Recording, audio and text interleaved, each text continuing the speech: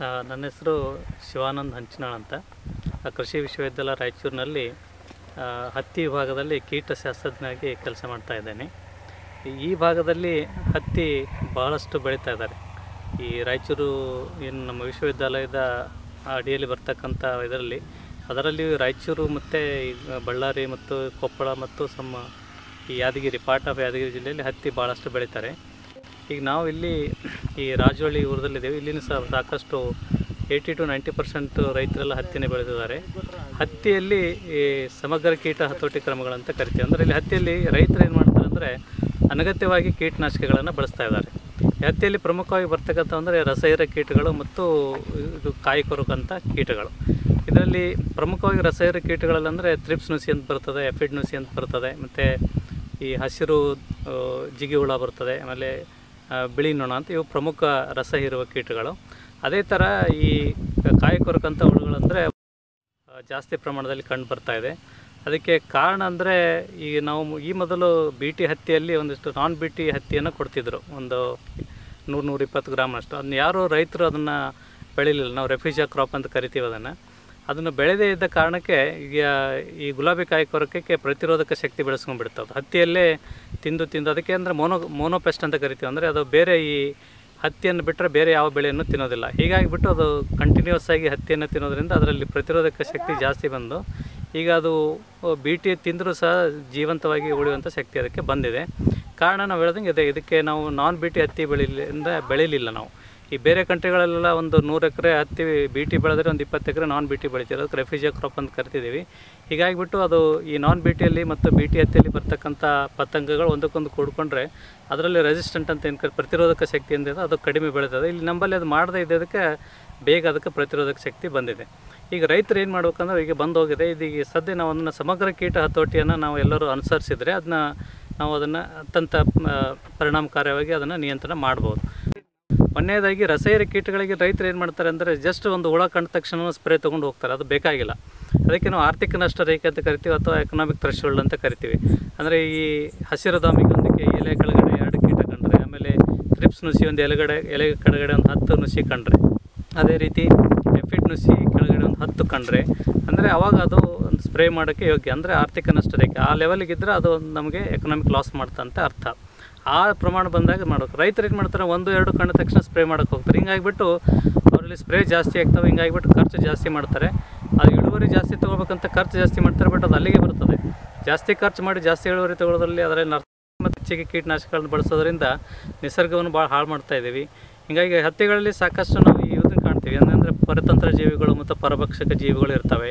ಆ ಸ್ಪ್ರೇ ಮಾಡೋದ್ರಿಂದ ಎರಡೂ ಸತ್ತು ಹೋಗ್ತವೆ. ಕೀಟ ಇದು ಹಾನಿ ಮಾಡುತ್ತೆ, ಕೀಟನೂ ಸಾಯ್ತವೆ ಮತ್ತು ಇವಕ್ಕೂ ಪರತಂತ್ರ ಜೀವಿ ಮತ್ತು ಪರಭಕ್ಷಕ ಕೀಟಗಳು ಸತ್ತು ಹೋಗ್ತವೆ.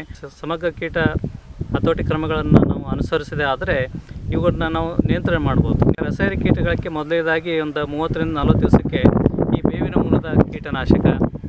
ಅದೇ ರೀತಿ ಇತ್ತೀಚೆಗೆ ಈ ಆರ್ಗಾನಿಕ್ ಕಲ್ಟಿವೇಷನಲ್ಲಿ ಇದನ್ನ ಹೇಳ್ತಾರೆ. ಈ ದಶಪರ್ಣಿ ಅಂತ ಹೇಳ್ತಾರೆ, ಅಂಥವೆಲ್ಲ ರೈತರು ಭಾಳಷ್ಟು ಮಾಡ್ಕೊಂಡಿದ್ದಾರೆ. ಈಗ ತೋಟಗಾರಿಕೆಯಲ್ಲಿ ಅದೇ ಥರ ಹತ್ತಿಲೂ ಅವ್ರು ಮಾಡ್ಕೊಳ್ಳೋಕೆ ಅವಕಾಶ ಇದೆ. ಆ ಥರ ದಶಪರ್ಣಿ ಅಂತ ಮಾಡ್ಕೋತಾರೆ, ಅದನ್ನು ನೀಮಾಸ್ತ್ರ ಅಂತ ಮಾಡ್ಕೋತಾರೆ, ಬ್ರಹ್ಮಾಸ್ತ್ರ ಅಂತ ಮಾಡ್ಕೊಂಡಿದ್ದಾರೆ.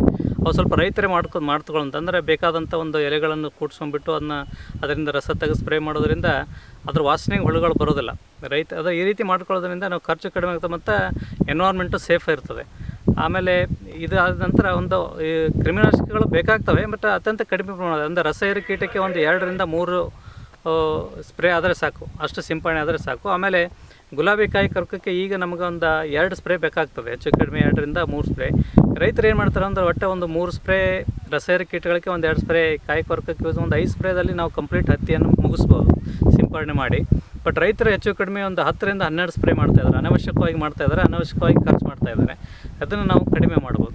ಅದೇ ರೀತಿ ಈ ಗುಲಾಬಿ ಕಾಯಿ ಕೊರಕಕ್ಕೆ ಬಂದರೆ ಅದನ್ನು ಸಮಗ್ರ ಯಾವ ರೀತಿ ಅದನ್ನ ಹತೋಟಿ ಮಾಡ್ಬೋದು ಅಂದರೆ ಒಂದನೇದಾಗಿ ನಾವು ಮೋಹಕ ಬಲೆಗಳನ್ನು ಬಳಸಬೇಕು. ಮೋಹಕ ಬಲೆಗಳು ಅಥವಾ ಫರ್ಮೋನ್ ಟ್ರಾಪ್ಸ್ ಅಂತ ಕರಿತೀವಿ. ಅದನ್ನು ನಾವು ಅಲ್ಲಲ್ಲಿ ಹೊಲಗಳಲ್ಲಿ ಎಕರೆಗೆ ಒಂದು ಎರಡರಂಗೆ ಮಾನಿಟ್ರಿಂಗ್ ಪರ್ಪಸ್ ಹಾಕ್ಕೊಂಡ್ರೆ ಅದರಲ್ಲಿ ಯಾವಾಗ ಪತಂಗಗಳು ಬಂದು ಬೀಳ್ತವೆ, ಒಂದು ಎಂಟು ಹತ್ತು ಪತಂಗಗಳು ಬಂದು ಬಿದ್ದು ಅಂದರೆ ಅದು ಸ್ಪ್ರೇ ಮಾಡೋಕ್ಕೆ ಯೋಗ್ಯ. ಅಂದರೆ ಆವಾಗ ಆ ಹೊಲದಲ್ಲಿ ಅದರದ್ದು ಅದ್ ನಷ್ಟ ಅಂದರೆ ಅದರದ್ದು ಹಾವಳಿ ಜಾಸ್ತಿ ಇರ್ತದೆ. ಟೈಮಲ್ಲಿ ಅದನ್ನ ಸ್ಪ್ರೇ ಮಾಡಿದ್ರೆ ಈಸಿ ಆಗ್ತದೆ. ಯಾಕಂದರೆ ಈ ಗುಲಾಬಿ ಕಾಯಿ ಕೊರಕದಲ್ಲಿ ಏನಾಗ್ತದೆ ಅಂದರೆ ಹುಳ ಕಣ್ಣಿಗೆ ಕಾಣೋದಿಲ್ಲ. ಒಂದ್ಸರಿ ತತ್ತಿ ಅದು ಸಣ್ಣ ಕಾಯಿದಾಗ ಇರ್ತದೆ. ತತ್ತಿಯಿಂದ ಬಂದಂಥ ಮರಿ ಅದು ಹೊಡ್ಕೊಂಡ್ಬಿಟ್ಟು ಒಳಗಡೆ ಹೋಗ್ತು ಅಂದರೆ ಕಂಪ್ಲೀಟ್ ಹತ್ತಿ ಹೊಡೆಯೋವರೆಗೂ ಒಳಗಡೆನೇ ಇರ್ತದೆ. ಹಿಂಗೆ ಬಿಟ್ಟು ರೈತರಿಗೆ ಗೊತ್ತೇ ಆಗೋದಿಲ್ಲ ಅದು ಬಂದಿದ್ದೆ ಅಂತ. ಅದಕ್ಕೆ ಈ ಫೆರಮೋನ್ ಟ್ರಾಪ್ ಅಥವಾ ಲೈಂಗಿಕ ಬಲೆ ಅಂತ ಏನು ಕರಿತೀವಿ, ಇದನ್ನ ಎಲ್ಲರೂ ಪ್ರಮುಖವಾಗಿ ಹಾಕೋಬೇಕು. ಇದು ಹಾಕ್ಕೊಂಡ್ರೆ ನಮಗೆ ಹತ್ತಿದ ಆ ಗುಲಾಬಿ ಕಾಯಿ ಕೊರಕದ ಪ್ರಮಾಣ ಏನಂತ ಗೊತ್ತಾಗ್ತದೆ. ಆಮೇಲೆ ಇನ್ನೊಂದು ಏನಂದರೆ ಈ ಇತ್ತೀಚೆಗೆ ನಾವು ಒಂದೆರಡು ದೊಡ್ಡ ಪ್ರಮಾಣದಲ್ಲಿ ಡೆಮಾನ್ಸ್ಟ್ರೇಷನ್ ಮಾಡಿದ್ದೀವಿ. ಮೇಟಿಂಗ್ ಡಿಸ್ಕ್ರಿಪ್ಷನ್ ಟೆಕ್ನಿಕ್ ಅಂತ ಕರಿತೀವಿ.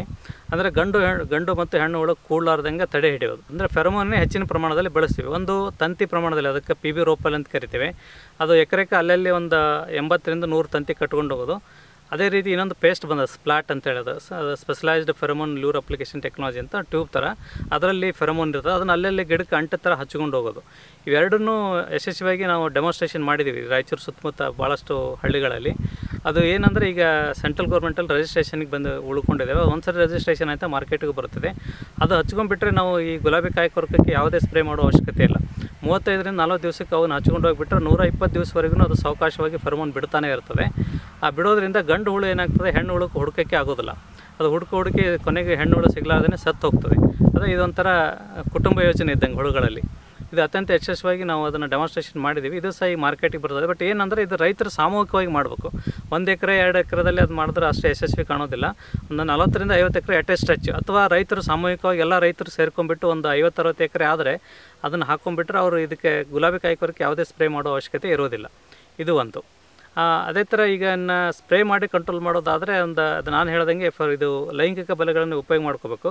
ಅದರಲ್ಲಿ ಇದು ಏನಂದ್ರೆ ಮೂವತ್ತರಿಂದ ಮೂವತ್ತೈದು ದಿವಸಕ್ಕೆ ಒಂದು ಜೀವನ ಚಕ್ರ ಇದೆ, ಈ ಗುಲಾಬಿ ಕಾಯಿ ಕೊರಕೋದು ಹಂಗೆ ಒಂದು ಮೂರು ಪೀಕ್ ಬರ್ತವೆ ಒಂದು ಸೀಸನ್ನಲ್ಲಿ ಹೆಚ್ಚು ಕಡಿಮೆ ಅಕ್ಟೋಬರ್ ನವಂಬರ್ ಡಿಸೆಂಬರಲ್ಲಿ ಆ ಮೂರು ಪೀಕ್ನಲ್ಲಿ ಅವರು ಸಿಂಪಡಣೆ ಮಾಡ್ಕೊಂಡ್ಬಿಟ್ರೆ ಅದನ್ನ ಯಶಸ್ವಿಯಾಗಿ ಕಂಟ್ರೋಲ್ ಮಾಡ್ಬೋದು. ಅನಾವಶ್ಯಕವಾಗಿ ರೈತರು ಏನು ಮಾಡ್ತಾರೆ, ಒಂದು ಐದಾರು ಸ್ಪ್ರೇ ಮಾಡ್ತಾ ಇದ್ದಾರೆ ಗುಲಾಬಿ ಕಾಯಿ ಅಷ್ಟೊಂದು ಬೇಕಾಗೋದಿಲ್ಲ. ಈ ರೀತಿ ನಾವು ಇದನ್ನು ಸಮಗ್ರ ಹತೋಟಿ ಕ್ರಮಗಳನ್ನು ಮಾಡಿದರೆ ಯಶಸ್ವಿಯಾಗಿ ಈ ಹತ್ತಿಯಲ್ಲಿ ನಾವು ಈ ರಸವಿರ ಕೀಟಗಳನ್ನು ಮತ್ತು ಈ ಗುಲಾಬಿ ಕಾಯಕಗಳನ್ನು ಅತ್ಯಂತ ಯಶಸ್ವಿಯಾಗಿ ನಿಯಂತ್ರಣ ಮಾಡ್ಬೋದು ಅಂತ ಹೇಳಕ್ಕೆ ಬಯಸ್ತೇನೆ.